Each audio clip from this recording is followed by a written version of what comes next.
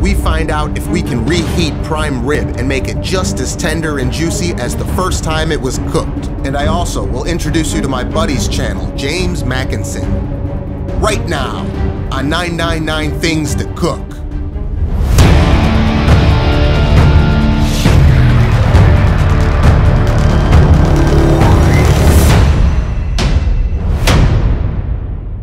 Help the algorithm by clicking that like button. As we start with leftover prime rib. Yeah, I know it's not actually prime, but it's a rib roast nonetheless, so I'm gonna say prime rib just to make it simple. That's what the comments are for, so go ahead and tell me how wrong I am on stuff. As you can see, this is the leftover roast and it's been in the fridge for three days. It was cooked to about 133 degrees, so medium rare, and it was seared nicely. I want to keep that nice medium rare look on it and not overcook it. People often have issues reheating this and making it tough as shit and dry as a bone, which is why restaurants most oftenly molest this leftover roast by slicing it into thin slices for sandwiches and things like that. But I want to make this just as juicy and perfect as it was the first time it was cooked. Now, while I could set the oven to its lowest setting and wrap it in foil and heat it through as gently as possible, I don't have an oven that goes less than 133 degrees, so that is the problem. I believe this calls for sous vide.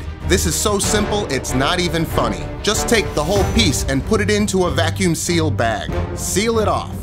The trick here is to let it go for a couple hours at a lower temperature than it was cooked at so that it stays nice and tender and juicy. I'm setting the water to 115 degrees Fahrenheit. And pretty much all there is to do is put it in the water until it is warmed up all the way through inside. It doesn't matter if it goes for two hours or three. It needs to go more than an hour though because of how thick it is. Gotta make sure the middle is heated as well. This method will ensure that the meat is extremely tender and juicy without turning it gray and absolutely destroying your beautiful prime rib so that you can cut it into thick slices and enjoy it the same way as you did the first time it was cooked. So while we wait on this, I will crack open a bottle and take this moment to raise a glass to James Makinson's channel.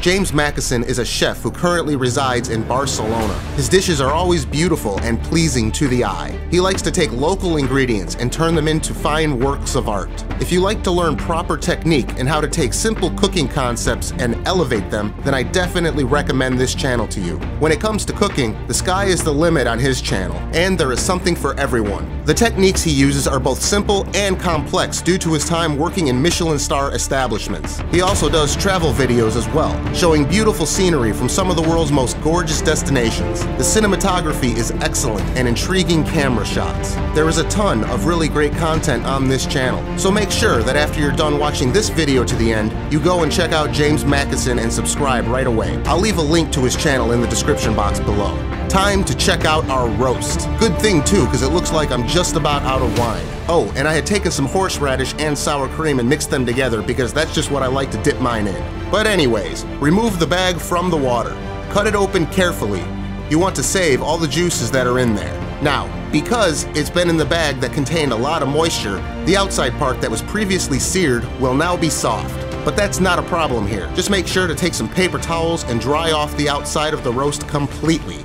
Then we get to play with a little fire. And how fun is that?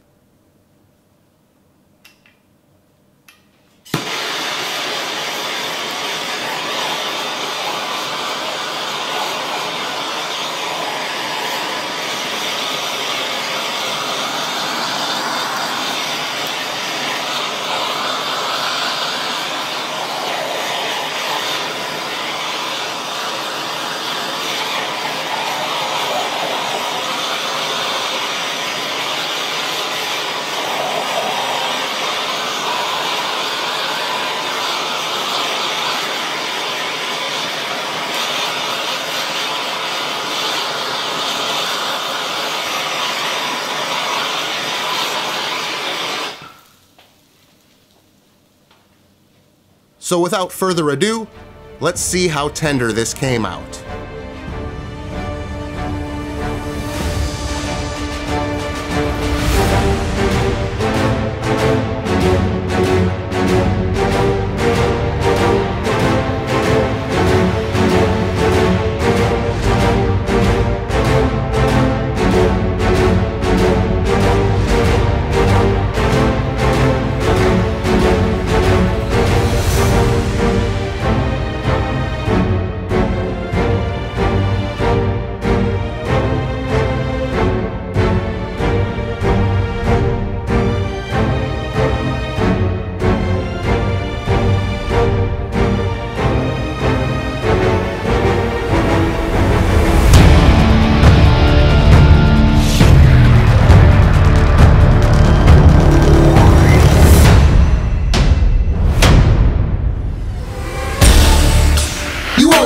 The servers.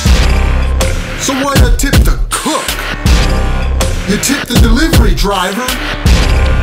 So how about tip this cook? You tip the cute bartender, but you forgot to tip the cook. You tip the Uber driver.